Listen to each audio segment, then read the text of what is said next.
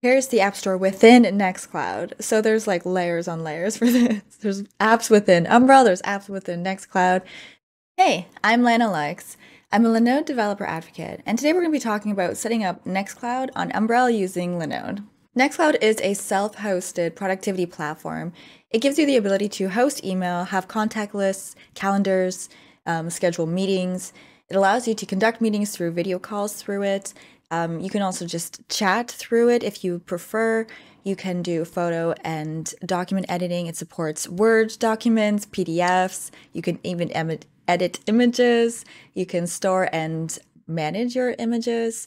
Um, so there's a lot that you can do with Nextcloud, and it can be a really helpful platform to work with. If you or your company care about who has access to which data, then this could be a great option for you. You can set up users and groups to control the access, and that way your system manages it in house, or you can manage it personally, of course. This means you know where your data is, who has access to it, and how it's being used. If you set this up using Umbrel, like we're doing today, you can have access to it from any device at any time. You can also sync your desktop and mobile if you like. There's also versioning, so you can have backups of your data and you can undelete if you need to. On top of all of that, it's free and open source, so a pretty cool option.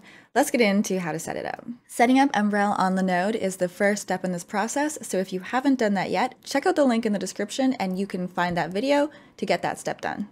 All right, the first thing we're going to do is head to linode.com and either log in or sign up if you don't have an account. If you don't have an account, make sure to hit the link in the description of this video where you can get $100 credit on your account for the new signup. Once we're logged in, you have a list of your Linodes. Um, select the one that you just installed Umbrel on from the previous step. And mine is right here. This is a fresh install. And find the IP address of that Linode. We're going to copy that and paste it into our browser.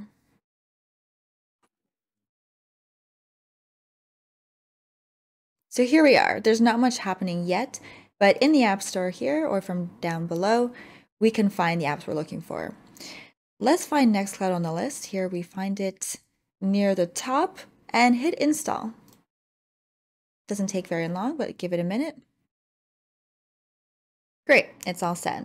Let's open that up. You can either open it from here or from your dashboard here. Now, here's a tricky step. Um, it's being blocked uh, so we need to find our config file here, um, which we're going to do in uh, back in Linode. So from here, we're going to launch Lish console, and we're going to type in find dash iname config.php.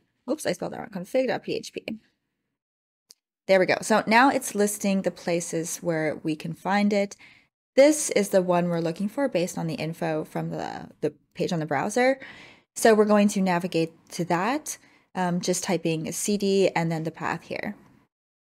Data, next, cloud, config. There we go. Doesn't show much, but if you type ls, it'll list the files in that folder. We're looking for config.php. We want to edit it, so we're going to use a command called nano um, in order to bring that up. So nano config.php. So here it is.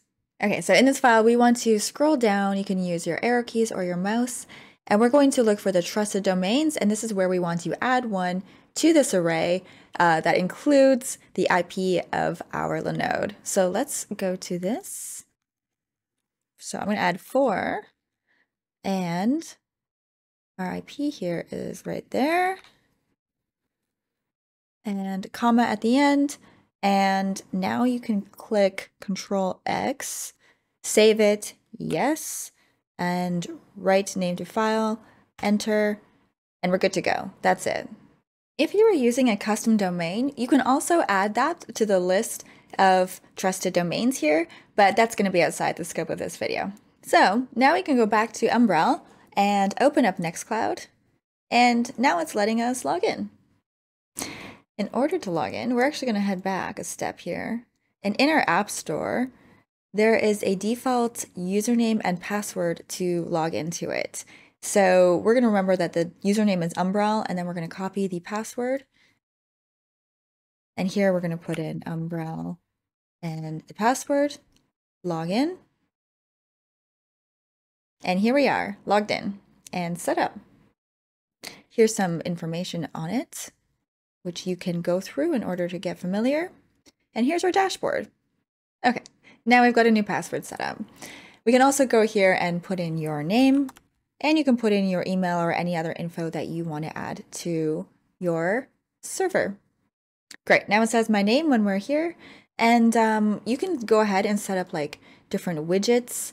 Uh, you can remove which things, recommended files. You can have only the things you want. And there's a whole bunch of different apps that you can set up. Let's let's look at them. Here's the App Store within Nextcloud. So there's like layers on layers for this. There's apps within Umbrel, there's apps within Nextcloud. Uh, you can find some really interesting stuff here. Like you can keep or swap photos kind of thing. You can have um, analytics. You can set up GitHub integration, GitLab integration. Uh, there's just many, many different files that can be, uh, sorry, that can be, there's many, many different apps that can be set up here. Nextcloud is a really cool platform that allows many different ways to use it. Uh, hopefully this was a helpful and informative video on getting you set up with that. If this was interesting and you want to set up other apps using Umbrel and Linode, definitely come on back, check out the other videos, and hit subscribe. We're going to be making a few different videos on setting up apps with Umbrel and Linode. Thank you for watching, and we'll see you next time.